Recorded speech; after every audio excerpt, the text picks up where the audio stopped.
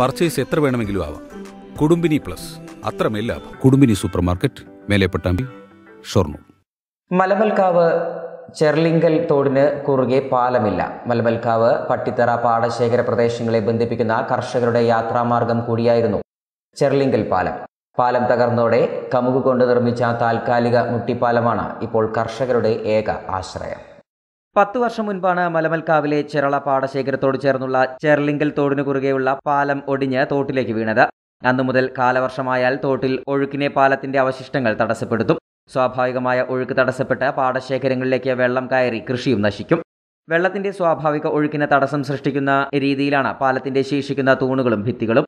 ഇവയെല്ലാം നീക്കം ചെയ്യാത്തതാണ് തോട് കരകവിഞ്ഞ് കർഷകർക്ക് ദുരിതം വിതയ്ക്കാൻ ഇടയാക്കുന്നത്. മഴ ശക്തമായാൽ തോട് കരകവിഞ്ഞ് ചെറളപാടശേഖരത്തിലെ അൻപത് ഏക്കറോളം നെൽകൃഷിയാണ് ഓരോ വർഷവും വെള്ളത്തിനടിയിലായി നശിക്കുന്നതെന്ന് കർഷകർ പറഞ്ഞു. സമീപത്തെ പട്ടിക്കായലിലെ വെള്ളമാണ് ചെർലിങ്കൽ തോടിലൂടെ ഒഴുകിയെത്തുന്നത്.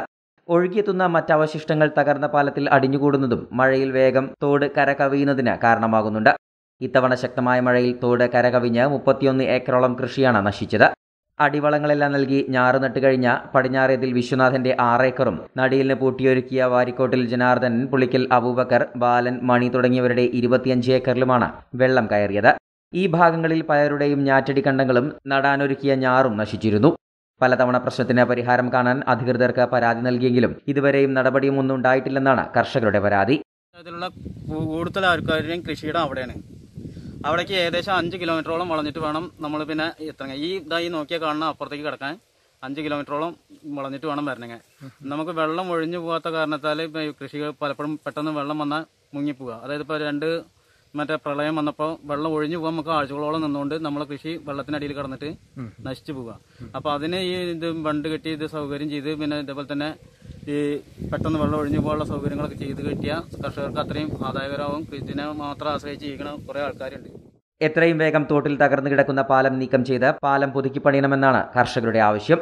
പാലത്തിന്റെ ആവശ്യം പത്ത് പതിനഞ്ച് കൊല്ലം കേടുന്നിട്ട് പഞ്ചായത്ത് പത്ത് ഇന്നലെ പേപ്പറിൽ കണ്ട് ഇരുപത് ലക്ഷം എണ്ണം മാറ്റി വെച്ചിട്ടുണ്ടെന്നുള്ളത് ഞങ്ങളൊക്കെ അവിടെ വഴി ആശ്രയിക്കുന്ന ആൾക്കാരാണ് പശുക്കളെ വളർത്തിയിട്ടാണ് ഞാൻ ഉപജീവനം നടത്തുന്നത്.